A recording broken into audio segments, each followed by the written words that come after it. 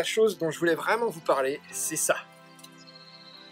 Ça, c'est quoi? Ça, c'est évidemment, on reconnaît un Oka One One, et c'est la chaussure, la Mac 2, qui est une chaussure hyper légère. On peut dire une chaussure de compétition, même si bien sûr, c'est pas une racing flat, c'est une chaussure euh, euh, légère pour la route.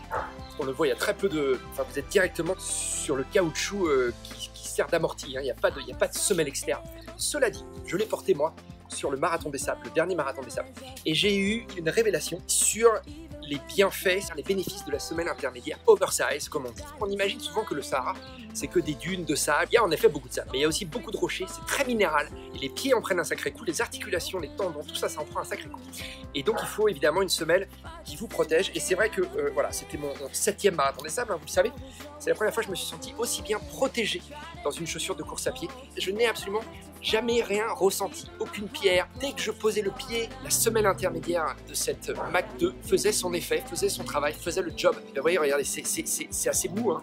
Mais du coup, voilà, les aspérités du terrain, eh bien, elles rentrent dans la semelle et pas dans le pied, parce que vous avez une épaisseur de dingue. Je crois que sur la, ne pas me tromper en disant que sur le modèle homme, ça c'est sur le modèle homme, il y a surtout un amorti talon, tenez-vous bien, de 32 mm, à peu près. hein. Je crois que c'est même un petit peu plus que 32 mm.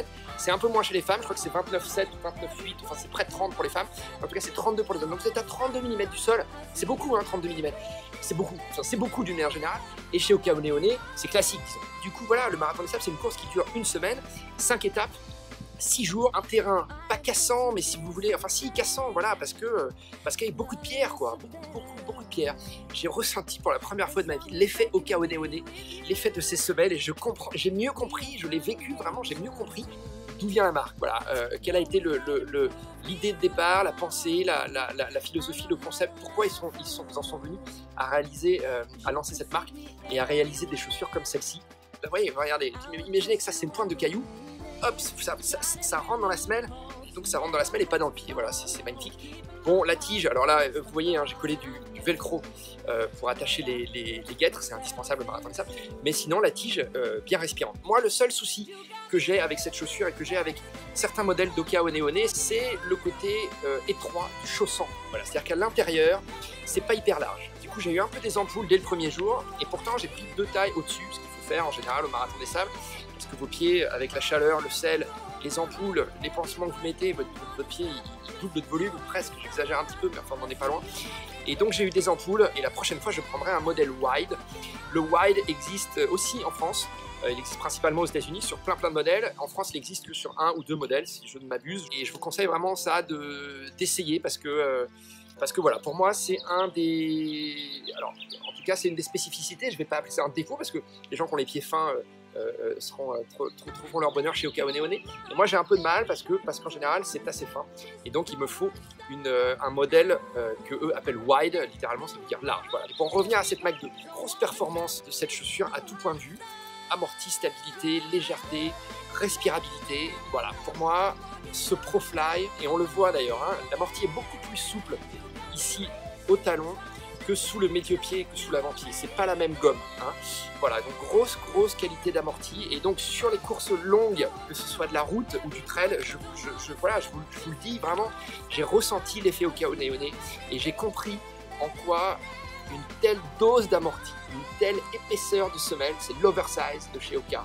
C'est pas Oka One One comme j'ai pu l'entendre, c'est Oka One One. L'épaisseur de, ce, de, de cet amorti, la semelle oversize, c'est vraiment utile sur les longues distances, sur les courses à étapes, quand vous êtes fatigué jour après jour, kilomètre après kilomètre, heure après heure, et où votre foulée s'affaisse un petit peu, vous faiblissez musculairement, et vous n'avez plus une position idéale, parce que vous êtes fatigué, parce qu'à force de taper le sol, eh évidemment ça fatigue, et c'est comme ça que euh, finit par se blesser. Et avec une semelle comme ça, hyper épaisse, semelle oversize, une fois de plus, eh ben, vous résistez plus longtemps. Voilà, c'est euh, c'est aussi simple que ça. Et je tenais à vous le, partager avec vous parce que, parce que ça a été une révélation.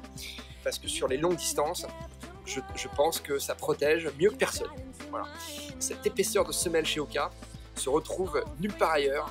Et d'ailleurs, on le voit au Marathon des Sables, les marques, euh, honnêtement, hein, on a fait le tour, parce que même avec les guêtres, les gens enlèvent les guêtres le soir, généralement, donc vous voyez un peu les chaussures à droite, à gauche. C'est majoritairement du Oka avec du Altra. Ensuite, je crois que euh, Salomon euh, est la marque la plus, euh, la plus utilisée, qui vient derrière en troisième position. Après, entre Oka et Altra, je pense quand même que Oka est devant.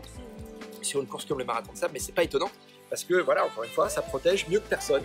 Dis, moi, voilà, moi je mesure 1m78, je pèse 70 kg et je fais 44. là, j'ai dit ça en 46, j'ai eu aucun souci. Et au contraire, j'ai eu l'impression de terminer le marathon des sables beaucoup plus fort je ne l'ai commencé. J'ai couru euh, toutes les, dernières étapes, j'ai couru beaucoup plus qu'au départ. J'étais bien entraîné, mais j'étais aussi bien préservé et je me suis pas trop usé durant les premières étapes. Voilà, je vous le confesse. Euh, et pourtant j'en ai essayé des Okaoneone. J'avais fait des papiers hein, d'ailleurs sur la, notamment sur la Speed Goat, euh, la Speed Goat 2, et j'avais pris un exemple Karl Metzer, hein, qui est un athlète iconique, ô combien iconique du trail running américain, et qui lui aussi avait eu des problèmes d'ampoule. Il avait fait un record de, de l'Appalachian Trail aux États-Unis et il avait eu de sacrées ampoules avec sa Speedgoat 2. Bon, alors après, je sais pas quel a été son problème exactement, mais j'avais euh, pris cet exemple en disant attention, au cas où néoné, essayez bien parce que c'est pas, ça convient pas à tout le monde euh, du fait de la de l'étroitesse du chausson. Voilà, et ben ils ont depuis rectifié le tir parce qu'ils sortent maintenant des modèles en wide et le bénéfice que vous avez à, porter euh, une épaisseur de semelle comme ça, c'est incomparable. C'est incomparable. C'est voilà, pour moi c'est révélation grâce à ces Mac 2. Oka One One Mac 2, c'est ça, elles sont euh, actuellement euh, euh, disponibles en magasin et elles sont, elles sont tout bonnement extraordinaires. Elles sont, c'est énorme ces chaussures, c'est énorme au sens littéral, c'est une grosse chaussure, hein, c'est énorme, mais c'est énorme. Voilà, vraiment le, bénéfice est, est, vraiment à la hauteur, je dirais, du prix d'abord, c'est certain. Regardez sur le blog le prix, hein, mais c'est évidemment une chaussure à plus de 100 euros. Voilà, c'est une grosse chaussure, mais qui vous apporte un gros, gros, gros bénéfice.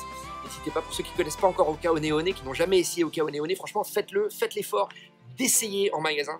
Je vous assure que euh, vous ne resterez pas de marbre face à une paire de Oka Oneone, soit vous aimez, soit vous n'aimez pas, mais si vous aimez et que vous essayez vraiment de courir, de faire des longues distances avec, c'est difficile de ne pas être convaincu. Quoi.